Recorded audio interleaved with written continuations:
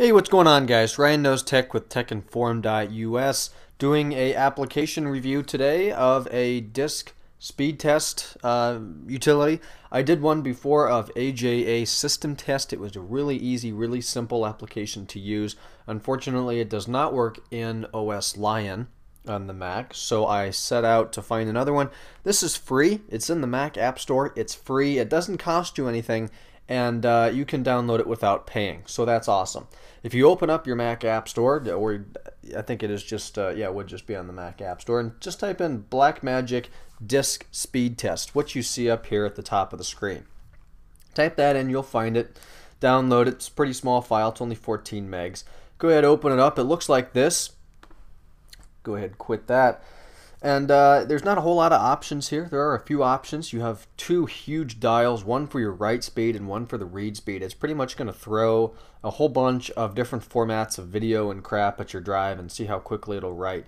Um, it's actually a pretty comprehensive test.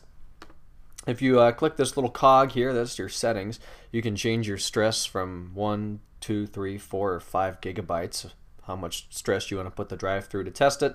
You can do a screenshot of your results. Select target drive. This is where you're going to tell the computer which hard drive, solid state drive, flash drive, external drive, network drive you want to test the speed on.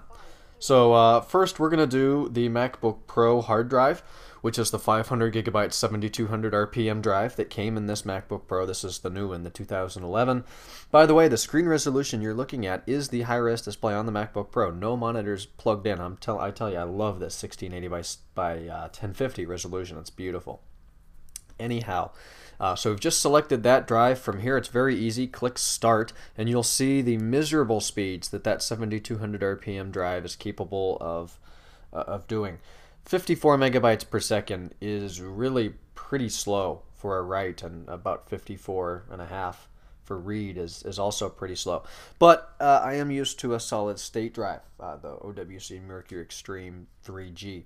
Uh, speaking of the SSDs, I am um, planning to upgrade to the 6G Pro, which is mm, more than twice actually more than twice the speeds of the current drive I have which we'll be testing in a minute so it goes through and it does all these different tests you can stop the test by hitting the start button again and uh, it tests all these different formats uh, really the first one is good enough for me I see about 53 write and about 54 read click that cog go back to select target drive let's try see if it'll let me do my network drive it's going to want me to connect Let's try that network drive. It's going to be very slow. It's a flash drive. It's a SanDisk uh, Cruzer, I think, 8 gigs. This is going over 802.11n to my Airport Extreme, so not terrible over for you know for over the network, but that's very slow if you wanted to write files uh, often to it. See if I can get back into settings here, and we'll see what the SSD is capable of doing. Hopefully, it's better than four. Okay, we'll browse over to that SSD.